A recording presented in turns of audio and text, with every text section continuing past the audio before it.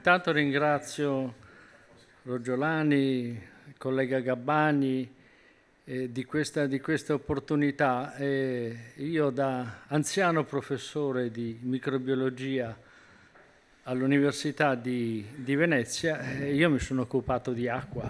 Ecco.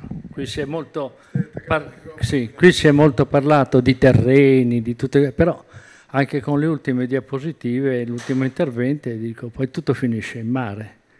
E ovviamente il problema della laguna e il problema anche di quelli che sono gli effetti sull'ecosistema marino di tutto, questo, di tutto quello che avviene in terra, quello è stato un po' il mio campo di, eh, di interesse. C'è un aspetto su quello che vi farò velo- velocemente vedere che è legato poi nel, nel mare al ciclo dell'anidride carbonica. Perché qua si parla sempre di foreste, prati, benissimo, però l'80% degli scambi di CO2 con il pianeta Terra avviene in acqua. Per cui quello è l'area sensibile a tutti quelli che sono quelli che sono i grandi eventi. In termini di ciclo di carbonio, quello che sta succedendo con quell'iceberg grande quanto la Liguria che si sta staccando. Dico solo una cosa, la quantità di gas, ossigeno e CO2 che sta mescolata nell'acqua dipende dalla temperatura. Più si scalda e più va tutto in cielo. Per cui il problema della temperatura a noi ci dà fastidio questo caldo qui, eccetera, ma l'effetto della temperatura sulla non fissazione, e ve lo mostrerò, della CO2 che è nell'aria dentro il mare, dove avviene il processo di fissazione e, come vedremo, di inertizzazione e, e definitiva formazione di materiali, dove vanno questi materiali? Eh, le, le, Dolomiti sono a dimostrazione di quello che è successo in circa 250 milioni di anni.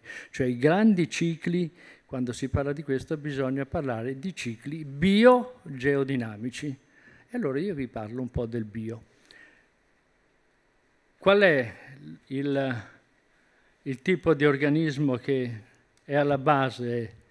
È qualcosa che noi conosciamo, sono i molluschi bivalvi. Bene? Che filtrano, sequestrano, mettono dentro ai gusci tutto quello che è sciolto nell'acqua, per cui anidride carbonica che diventa acido carbonico, ma in più, in più anche tutti i minerali che sono sciolti. Ecco, io in questi anni, ultimi dieci anni, anche con un contributo di un'industria Rovigo di cui saluto la, eh, la, cioè la dottoressa Merlante e io ho studiato queste, questi fenomeni anche in termini di produzione, cioè che cosa significa in termini di produzione questi cicli.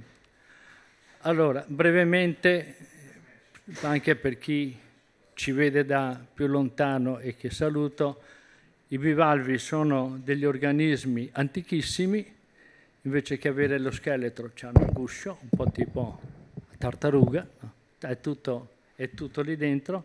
Quando sono nati questi organismi? Quando sono nate le maree?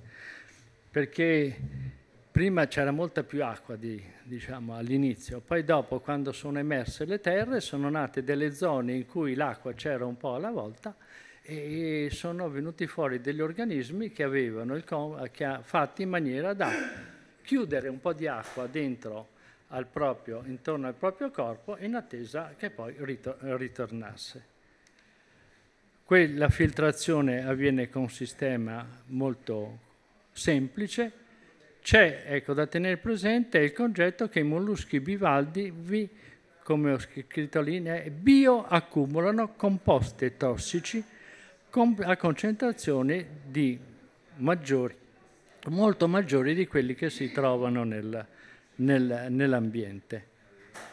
Queste sono fotografie elettroniche del...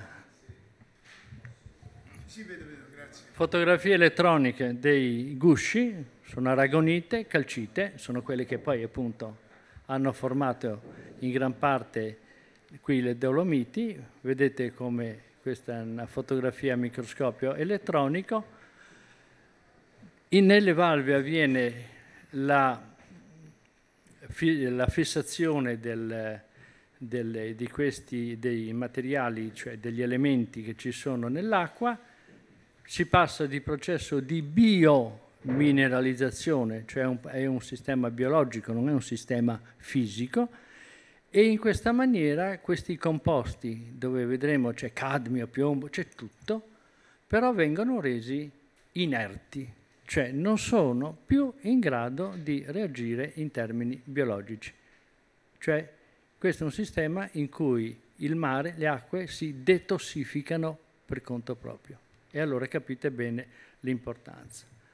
Abbiamo studiato la cosiddetta cozza mitile, quello che è, e l'ostriche, per vedere quelle che sono le, i vari tipi di caratteristiche. Poi sull'arsenale lo vedremo meglio sul, sull'altra eh, diapositiva. Abbiamo, eh, quindi sono zone piuttosto contaminate.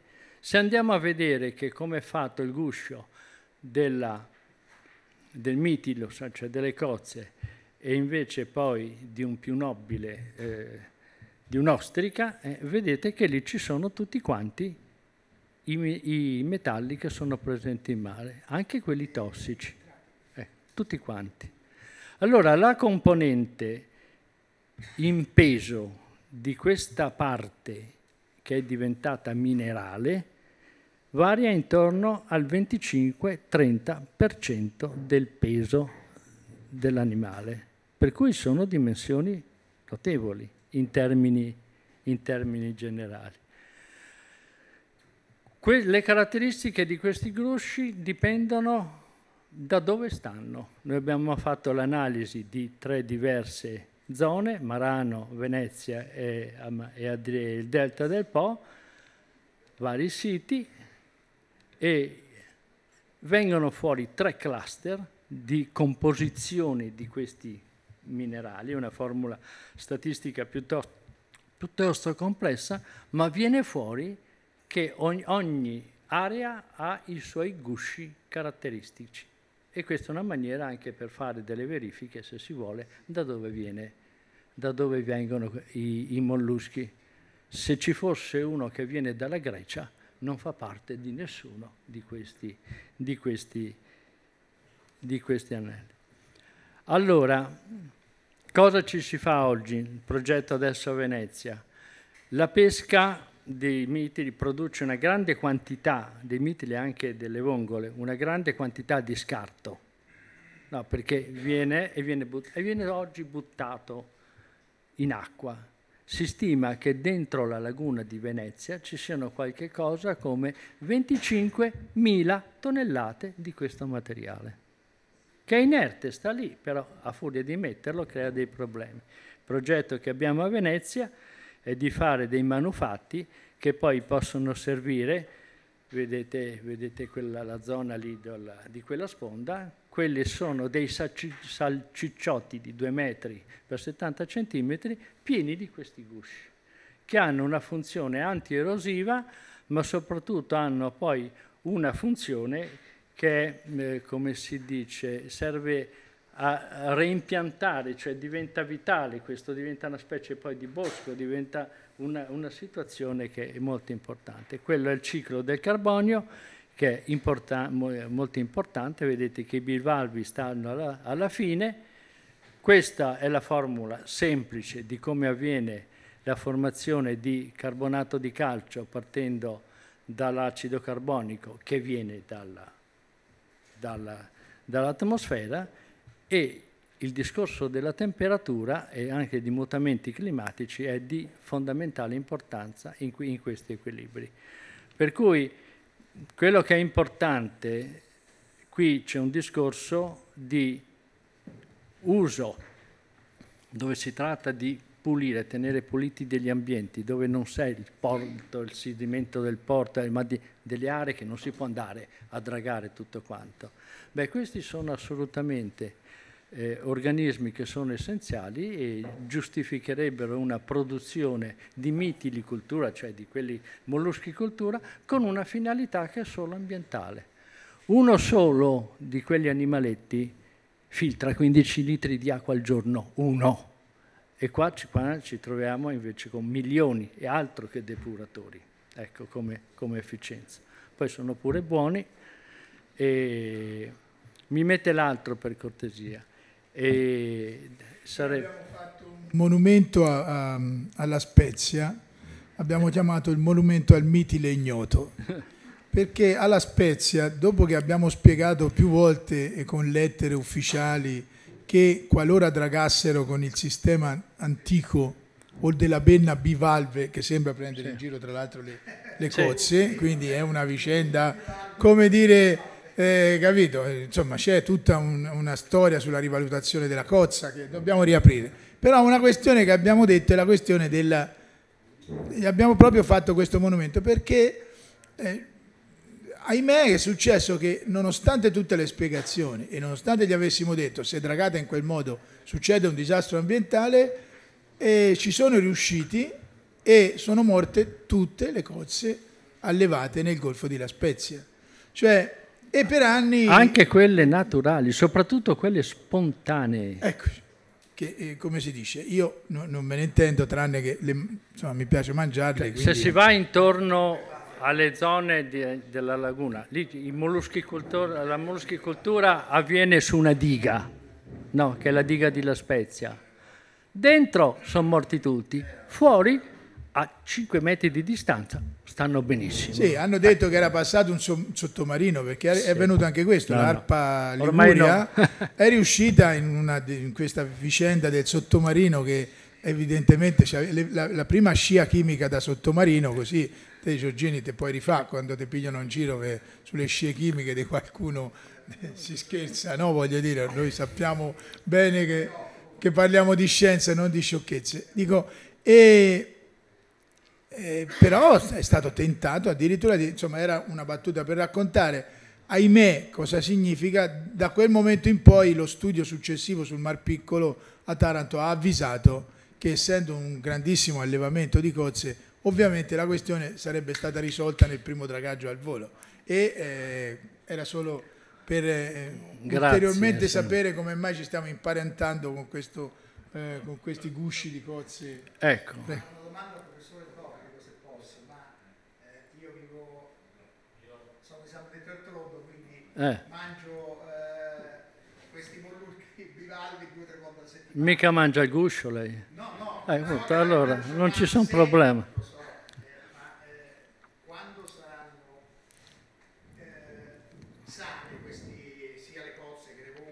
Eh. dentro, lo so che, eh, eh. che il guscio, eh, ho visto che qui sì. il, poi lo rivediamo. Sì. dentro mi interessa sapere se ancora è sostenibile come cibo, visto quello che, che sono diventati mari, no? Allora, il passaggio Dalla... Scusate, recupero sì. la domanda. Sì. No, no, ma ho capito. Il passaggio. La domanda e la risposta perché sì. chi, chi, ci sente da casa, sì. quei 10.000 allora, che sono arrivati. Stando in un'area diciamo, un'acqua parzialmente contaminata, diciamo, con quello che abbiamo visto, che comunque nell'acqua di mare ci sono sempre presenti in una certa differenza. Quanto, in quanto tempo vanno a finire sul guscio e si inertizzano? Qualche minuto.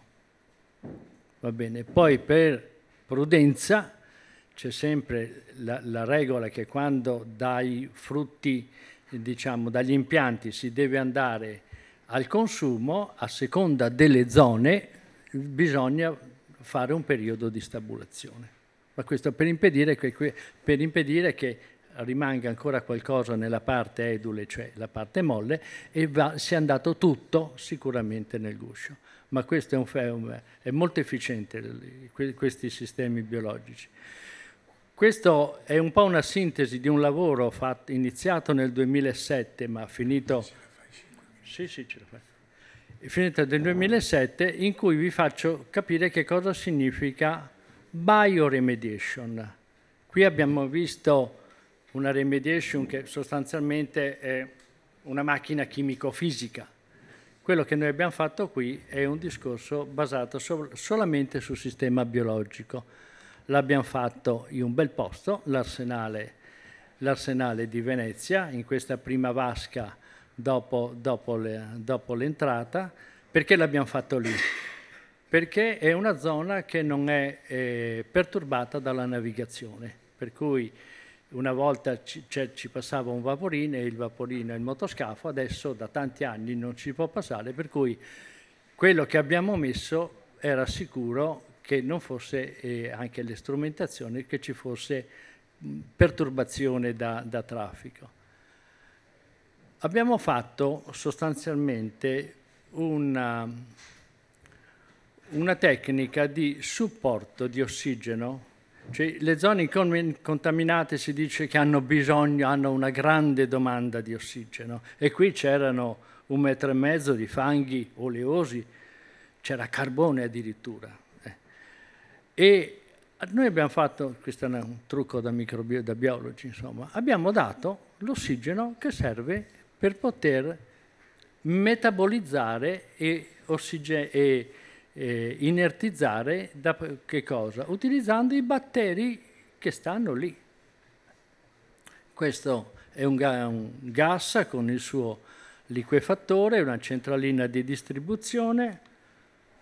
Questa è la tecnica, è molto semplice, parlate, parlate, questa è la definizione, significa fornire ossigeno in maniera da garantire delle condizioni aerobiche per fornire alle comunità microbiche l'accettore elettronico necessario alla biodegradazione, che vi faccio vedere. Questo è come erano distribuiti, diciamo, dal, dal, dall'impianto con un sistema di, eh, di, un grosso tubo di, di, lungo il bordo e poi tanti tubi porosi e con quella c'era la eh, somministrazione sul fondo questa è una somministrazione in situ, cioè la somministrazione di ossigeno veniva sul fondo del, se del sedimento. Ecco qua come, sono, come erano distribuiti. Va bene? Basta. Questo è tutto l'impianto.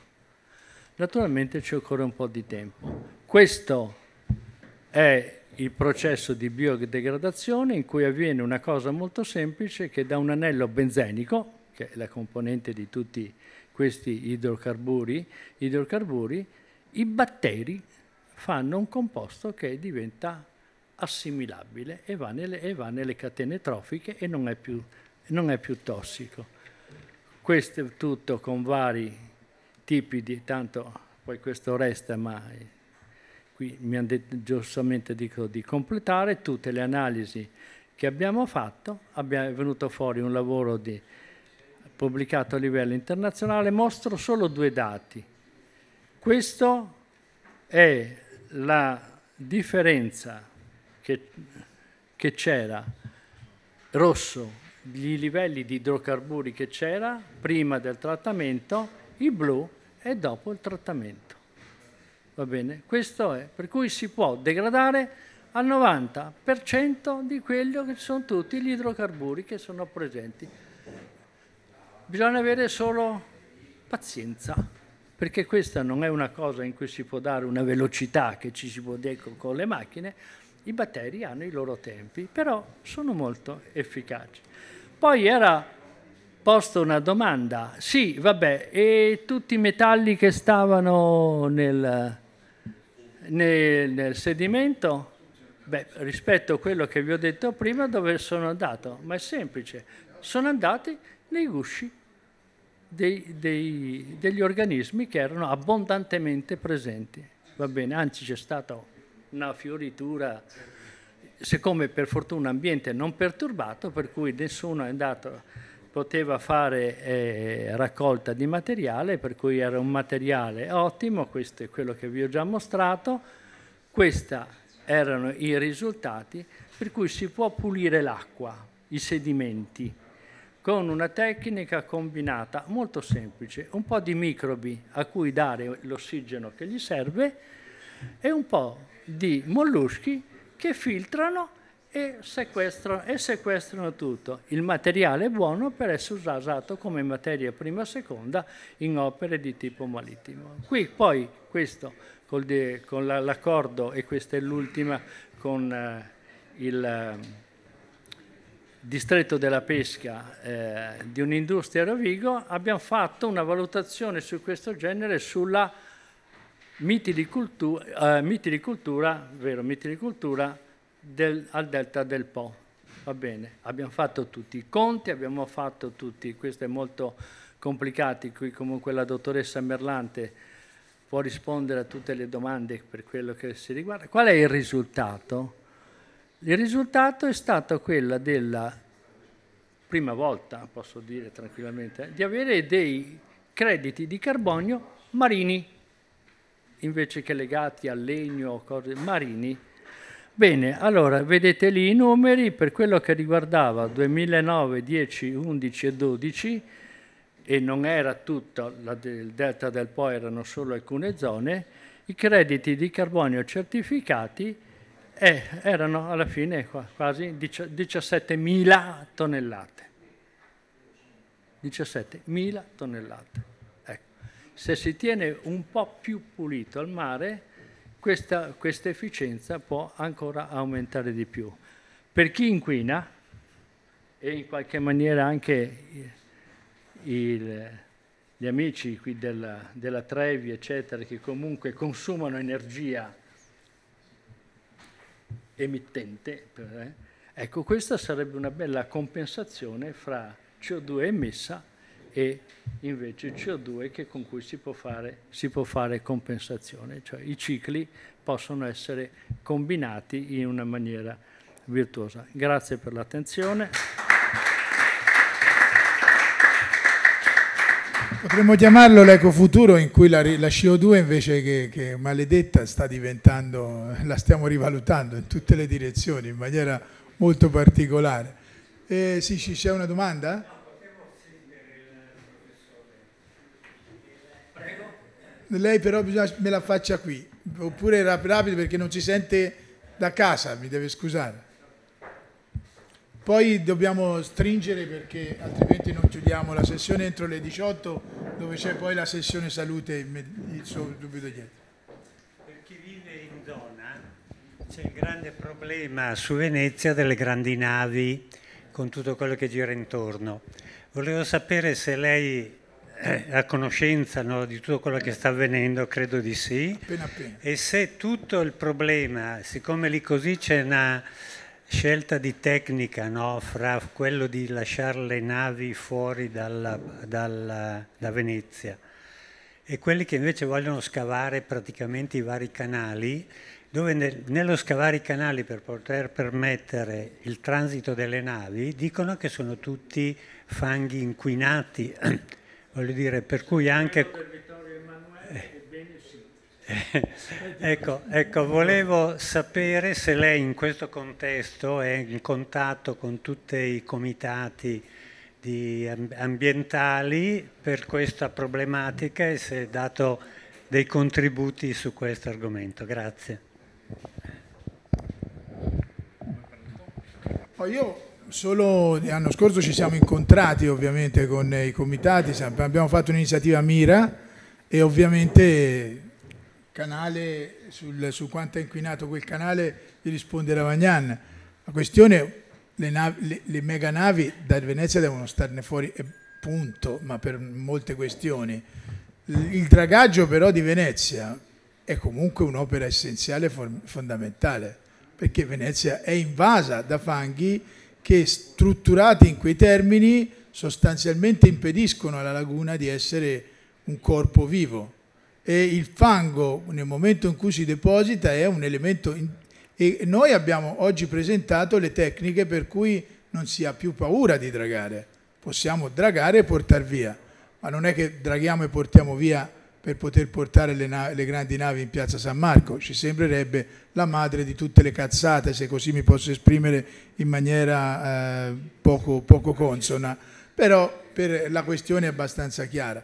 Quindi è un dibattito che eh, ovviamente noi però ribadiamo un'altra questione, e quella eh, ripulire i motori delle navi dal, dal gasolio e con tutte le riconversioni che presenteremo sabato mattina per mandarli a metano e dragare i fondali e ripulirli dai fanghi è un'opera formidabile e, e essenziale. E, e se sono inquinati oggi finalmente presentiamo il sistema per portarli via davvero anche perché mantenerli lì non è il massimo della vita perché è chiaro che quando li rimuoviamo fanno il grande sciacquiglio come si suol dire fanno un'opera gravissima. Ma non è che stando lì stanno tranquilli eh, voglio dire tutti i giorni quella roba aiuta tranquillamente a vivere mare, al mare e a noi stessi. Quindi che vadano rimossi è un elemento formidabile.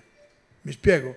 Poi, come si dice, il dibattito sul sé, io ho preso la mia posizione chiara perché non ci giriamo intorno sulla questione, ma è evidente che però è un'opera assolutamente comunque essenziale. Non so se puoi aggiungere sì. qualcos'altro. Ah, 30 secondi.